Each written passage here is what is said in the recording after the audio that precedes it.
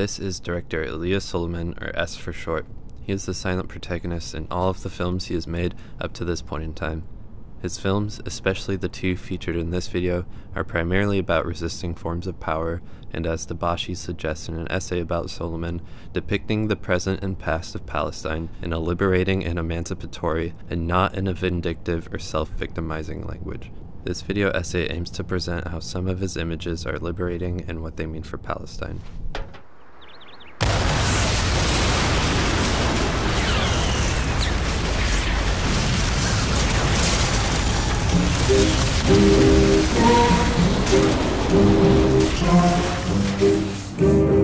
Divine Intervention, Suleiman's film from 2003, starts with this scene, as S's father drives down the road cursing towards other Palestinians. I think it's important not to question why he's angry, even though there can be assumptions about why, but rather to question how he is expressing his anger.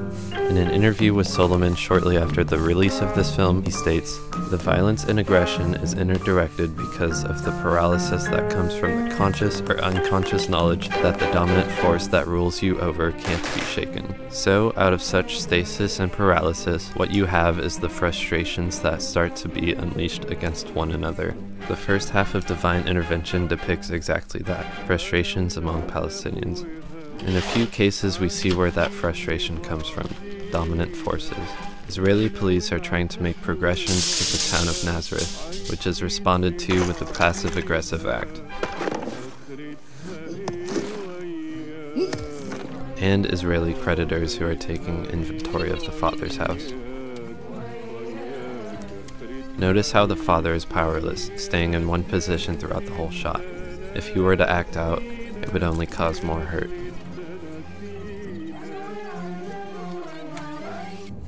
Then S comes in. And a nameless Palestinian woman, played by journalist Manal Khader, is introduced. The tone shifts. Scenes from here on out include acts of resistance while making sarcastic jabs towards Israeli soldiers. For instance, Israeli soldiers at a checkpoint reach for their guns as the woman walks fearlessly towards them. The soldiers hesitate and don't shoot. This act of resistance is blatantly directed at the Israeli soldiers, who only have their guns as a tool of power, but this walk has left them powerless. This scene was actually based on a real incident where Manal crossed the checkpoint on foot and dared the Israelis to shoot her, which they didn't. In an attempt by S to get Manal through the checkpoint into Jerusalem, he blows up a balloon with Yasser Arafat's face on it. While the soldiers are confused, they ask the authorities what to do about the balloon, whether to shoot down an inanimate object or not.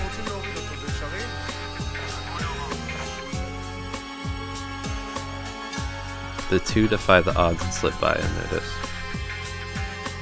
Then Manal continues her acts of resistance, once in Jerusalem, she glances at a Palestinian collaborator. I think the look says it all. These images of resistance all sum up to an ultimatum in the climax of the film where Manal is dressed as a ninja. Suleiman throws in a flurry of symbols into the scene, all serving as a purpose to demonstrate the power behind the Palestinian in the scene.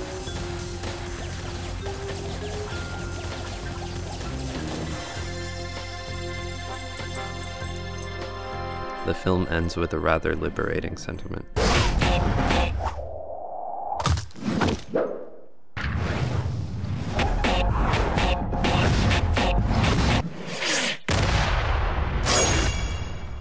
Another film by Elias Suleiman that is about resisting forms of power is his 2009 film The Time That Remains. Similar to Divine Intervention, this film starts out with driving in a car. This time it's a famous Israeli actor, Menashe Noy, driving. He is lost. In regards to the beginning of this film, Elias says, To this day, most of Israeli society does not feel comfortable where it's at 60 years later. They still want us to love them because they want to feel that they are part of this place. The Time That Remains shows the life of Elias' father, Fuad, as he experiences the 1948 Nakba, Elias says, while what I was describing in personal ways was true to history, in the sense that the facts were historical, I moved away from those facts and talked about the people living through them at the time.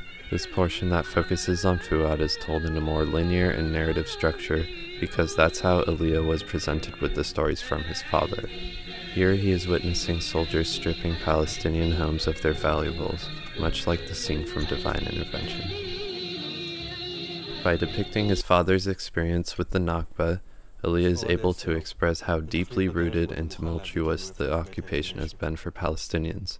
I think it shows where Elia is coming from and how this tragedy has affected his generation and the generation before him.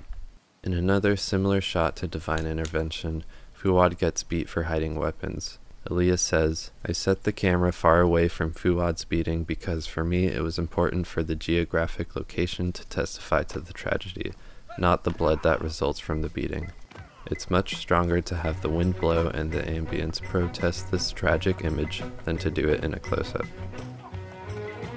In this film, Elia is also reflecting on his time growing up in a few different ages. In another similar shot to Divine Intervention, Israeli authorities are searching for evidence that Fuad is involved with making and distributing weapons. The Israeli figures are the ones who control the movement in the scene.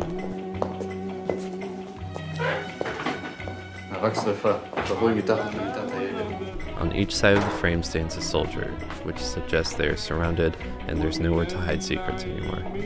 Fuad is taken away as S witnesses this powerlessness of Palestinians under Israeli authority in the worst way.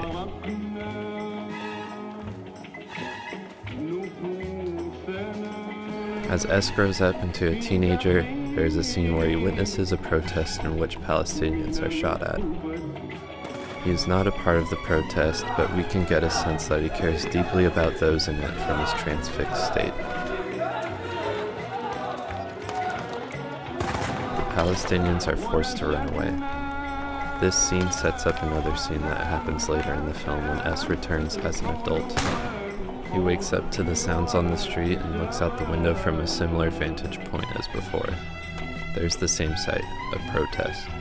But the difference is, now there is a woman who tells the Israeli soldiers to go home. Although the fight is still ongoing after all these years, the woman telling the Israelis to go home without being ridiculed or killed is a significant sign of progress.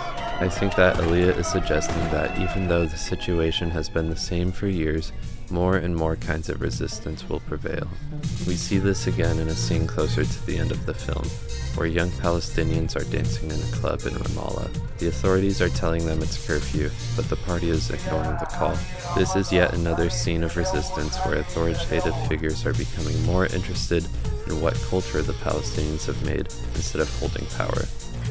There's no stopping the party, and there will only be more forms of resistance in the years to come.